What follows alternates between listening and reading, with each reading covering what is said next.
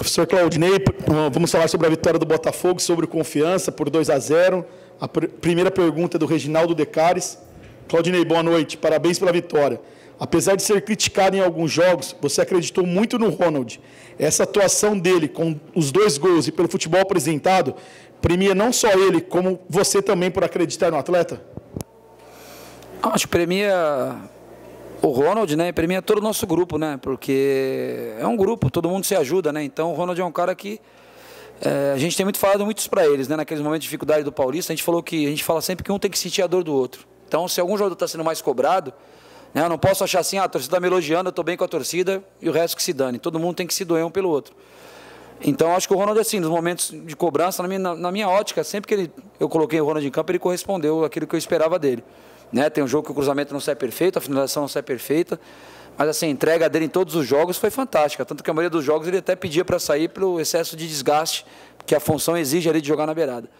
Então acho que não, não, não tem que pegar nada de mérito para mim, não. O mérito é dele, porque acreditou. Só, talvez o meu mérito tenha sido é, de dar essa confiança para ele, de insistir com ele e, e, acreditar no potencial do jogador que eu vi há muito tempo atrás, ali, há uns anos atrás, jogando a final do Brasileiro Experiência contra o Santos Sub-23. Eu estava assistindo esse jogo e achei um jogador muito interessante.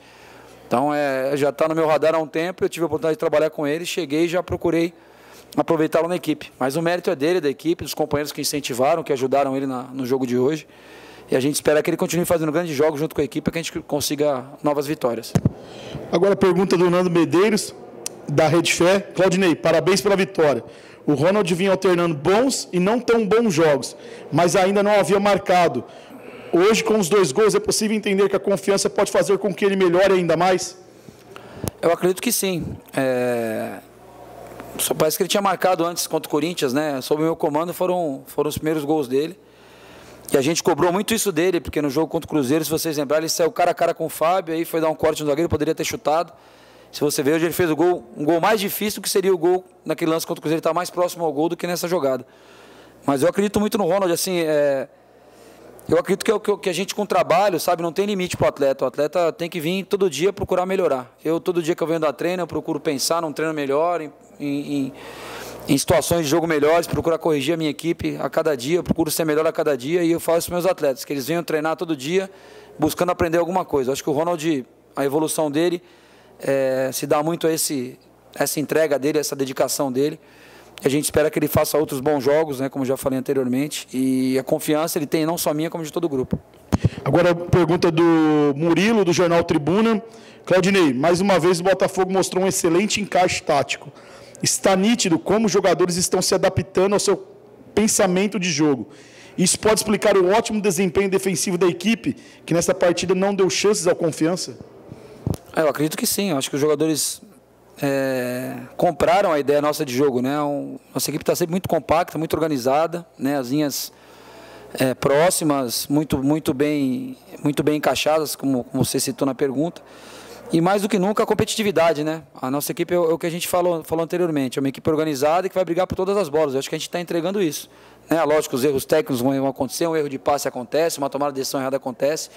Mas em nenhum momento você está vendo a equipe do Botafogo desorganizada, em nenhum momento você está vendo o jogador deixar de colocar o pé numa dividida, de se jogar na frente do adversário para ele não fazer o gol.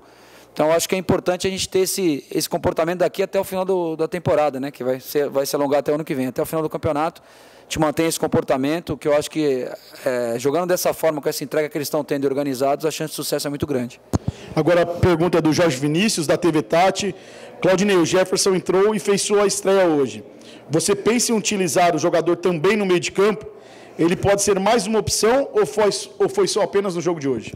Bom, para quem é, conhece o Jefferson, ele, já, ele joga como volante também. Para quem acompanha os jogos da Ponte Preta na reta final do Paulista, o Jefferson jogou exatamente nessa posição que eu coloquei ele.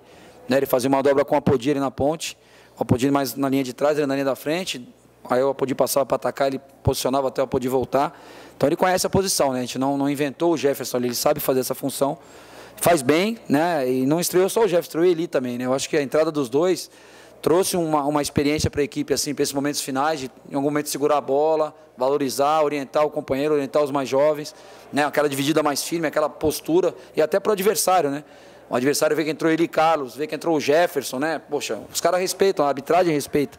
Então é importante a gente ter esse tipo de jogadores para esse momento aí, ou para amanhã ou depois serem os titulares, como eu falei, né? Jogadores com peso titulares, mas que não, não necessariamente chegariam e já seriam titulares.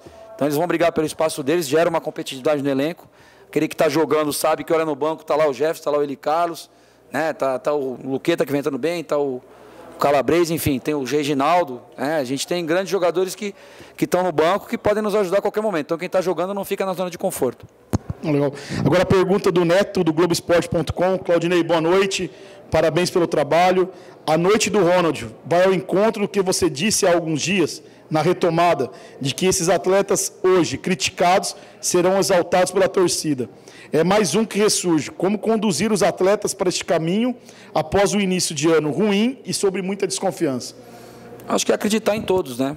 É, trabalhar com todos da mesma forma, né? O mesmo treino que eu dou para o Gilson, eu dou para o Romão, eu dou para o Martinelli. Né? A mesma orientação eu dou para os três, a mesma atenção eu tenho que ter com, com os três, é assim também com com todos os atletas nas suas respectivas posições. Né? Mas frisar também o bom jogo que o Romão fez. Né? O Romão vinha muito tempo sem jogar, jogou alguns minutos, um tempo, um segundo tempo, mais um pouco do primeiro lá em, em Belo Horizonte. Hoje jogou o jogo inteiro e fez uma grande partida também. Né? Pontuar também essa situação do Romão substituindo o Gilson, que também era o nosso titular, é um jogador que vinha muito bem.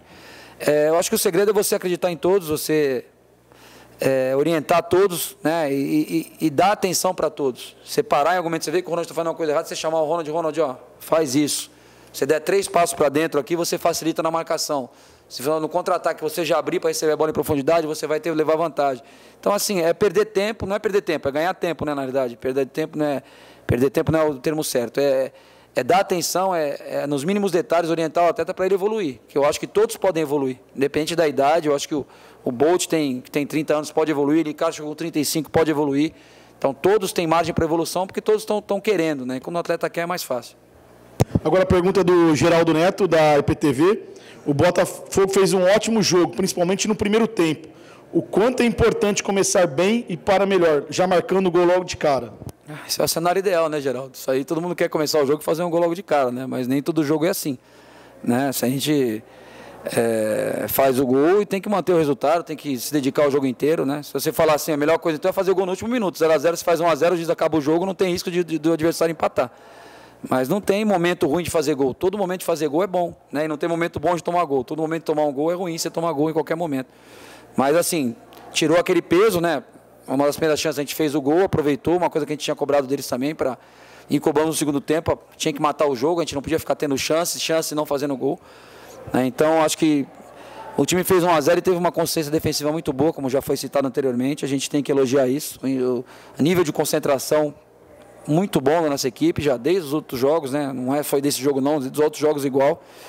Então a entrega, a nível de concentração, esse é o segredo. Agora fazer gols, se fizer com 1, com 10, com 20, a gente não sofrendo gols, a nossa chance de sucesso é muito grande, mas a nossa equipe vai acabar fazendo. Nós temos jogadores para isso. Ok, agora a pergunta do Felipe Melo, da Rádio CBN. O que aconteceu com o Naldo? Ele preocupa para a próxima partida? O Naldo no aquecimento sentiu um desconforto, se não me engano, no adutor, né, saltando para cabecear uma bola. É, foi para o DM, estava ali, o doutor estava avaliando junto com os fisioterapeutas. É, não se recusou a jogar, ele estava ali numa, numa dúvida. Eu falei, Naldo, faz assim, melhor não jogar hoje do que você, às vezes, estourar e ficar vários jogos sem jogar. Então acredito que amanhã ele deve fazer um exame de imagem, penso eu, né? Eu não falei com o Dr. Vega agora depois do jogo, mas deve fazer um exame de imagem amanhã para ver o que, que ele tem. É, acredito que por não ter tido estresse do jogo, não, não tenha sido nada tão grave, espero que não. E assim que a gente tiver um, um retorno, a gente posiciona vocês aí, quando é que a gente vai poder aproveitar, ou se no sábado, se no, na terça, se daqui a alguns jogos. A gente não pode, é, é, num calendário tão apertado, correr risco de perder jogadores por, por muito tempo. Então, se a gente tiver que preservar o Naldo alguns jogos para evitar dele ter essa lesão, a gente vai fazer isso. Agora a pergunta é do Marcos Andrés, da K8 Rádio e TV. Claudinei, parabéns pela vitória em noite de consagração do Ronald. O que falta para este elenco para que, na hora da necessidade de substituição, a equipe continue é, com o mesmo aproveitamento? Rafinha saiu sentindo a coxa. Se não reunir condições para sábado, pode prejudicar seu esquema tático? Bom, com relação às trocas, eu acho que a equipe, bom, a gente fez as trocas contra o Cruzeiro, a gente perdia por 1x0 e empatamos contra o Cruzeiro, né? Depois das trocas, a gente colocou o Gustavo, colocou o Jonathan, colocou o Ferreira, a gente perdia por 1x0 no Mineirão e empatamos o jogo. Então a equipe, com as trocas, a equipe conseguiu empatar um jogo difícil, depois sofremos o gol, que a gente já comentou, num, numa questão aí de, pouquinho de falta de maturidade, que eu até passei isso para eles, a gente tinha que ter valorizado aquele empate ali. Mas também não dá para se negar que a equipe pegou a bola e tentou fazer 2 a 1 no Cruzeiro, não se omitiu também, não ficou ali especulando o jogo. Mas assim, eu acho que a equipe com as trocas fez um gol no Cruzeiro. Hoje com as trocas a equipe manteve a sua consciência defensiva, manteve posse de bola, né? É, é, a entrada do Eri Carlos, como eu já falei, deu, trouxe uma, uma consciência legal ali no meio, e com o Bolt ali, o posicionamento muito bom dos dois, o Jefferson na dobra com o Val, o Luqueta é um jovem, cara, a gente também tem que valorizar, no, a gente colocou o Jonathan para jogar no Mineirão, que é formado na base do clube, colocamos o Luqueta no Mineirão para jogar contra o Cruzeiro, que é formado na base do clube, o Luqueta entrou hoje de novo, né? Então a gente tem, se a gente ficar com medo de colocar os jogadores, porque pode, ah, não sei se o Luqueta vai jogar tão bem hoje, ah, daqui a pouco eu não sei se eu ponho o Martinelli no lugar do Romão, se eu improviso alguém, porque o Martinelli é jovem. Aí não adianta a gente ter categoria de base no Botafogo. Acho que a gente tem categoria de base para usar com inteligência, com responsabilidade, é lógico, como eu fiz em todos os clubes que eu passei. Mas eu não tenho medo de colocar. Então, assim, se a gente tiver que lançar a mão de jogadores jovens ou mais experientes que estão no banco, a gente acha que vão agregar para aquele momento da partida, a gente vai lançar. E eu não acho que a equipe caiu de produção, não. Acho que a equipe estava com resultado de 2 a 0 Aí não vamos ficar tomando gol de contra-ataque, né? O contra-ataque tem que ser nosso. Foi até aquilo que a gente criticou no jogo do Cruzeiro, tomamos gol de contra-ataque. Então, inteligentemente, a equipe se postou bem. Eu acho que o adversário, é, chances claras de gol não teve nenhuma. Teve um volume de bolas aéreas, de faltas laterais. E a gente teve várias chances, gols, gol anulado, né? Parece que bem anulado. Teve um pênalti não marcado para nós. Teve a, a, bola do Ronald que quase entrou. Enfim, a gente teve vários momentos ali que poderíamos ter feito mais gols, é, tendo sempre jogo controlado. Agora a pergunta é do João Victor Cristóvão, da W Sports. Mais uma sobre o Ronald. O Ronald vinha sendo criticado por muitos torcedores. Essa atuação dá uma tranquilidade maior para ele trabalhar? E o que você achou novamente sobre as estreias de ele, Carlos e Jé? Será que só pelos torcedores que ele está sendo criticado, né? Agora são só os torcedores que estão criticando o Ronald. A imprensa adorava o Ronald. Eu não sei, eu não acompanhava, não acompanho essas redes sociais, eu não sei. Assim, o Ronald tem toda a nossa confiança, cara. É, é um menino trabalhador, cara. Um menino que é, compete o jogo inteiro, né? Se entrega o jogo inteiro. É um, um baixinho nossa vida junto com o tanque, o tanque virou pai dele agora, os dois estão grudados lá, concentram juntos, almoçam juntos, enfim, o, o, o tanque tem ajudado muito ele também, dando essa confiança para ele.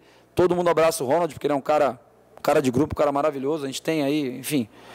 O nosso grupo é muito bom, eu falei isso lá atrás. Falei, gente, dê uma voz de confiança para esse pessoal, porque a gente está vendo que é todo mundo trabalhador, não tem vagabundo. E não trouxemos vagabundo agora, trouxemos ele Carlos, que vai ajudar, trouxemos Jefferson, que vai ajudar, e todos os jogadores que nós trouxemos, antes de trazermos, vamos tirar referências não só do atleta, porque o atleta é fácil de você ver, toda terça, todo sábado, todo domingo.